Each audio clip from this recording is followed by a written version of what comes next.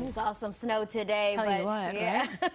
but for Garden State students checking the forecast, hoping for a snow day filled with sled rides and snowmen, well, it could be a thing of the past. That's right. A bill passed last week in the state senate that would allow public schools in New Jersey to use remote or virtual instruction ahead of snow instead of snow days. Yeah, some school districts in the state have already started doing this. Now the bill has to go to the state assembly, and if passed there, will go to the governor's desk. Now in New York City, the Department of Education has already replaced snow days this year with remote learning. Mm.